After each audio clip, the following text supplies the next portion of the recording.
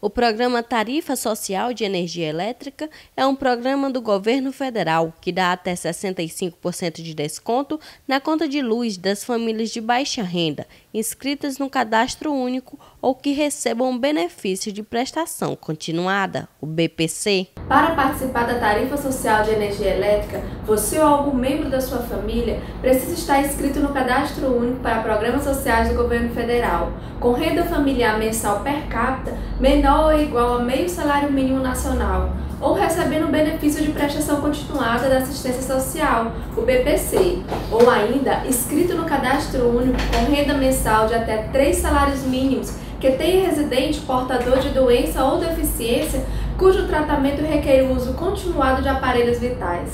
Podem ser clientes residenciais baixa renda, pessoas que moram em imóveis localizados em áreas urbanas, rurais, indígenas ou quilombolas. Dessa forma, se você cumpre os requisitos, deve entrar em contato com a Equatorial Maranhão pelo WhatsApp 98 20 55 01 16, através da nossa central 116 ou ainda por meio do nosso site no endereço www.equatorialenergia.com.br.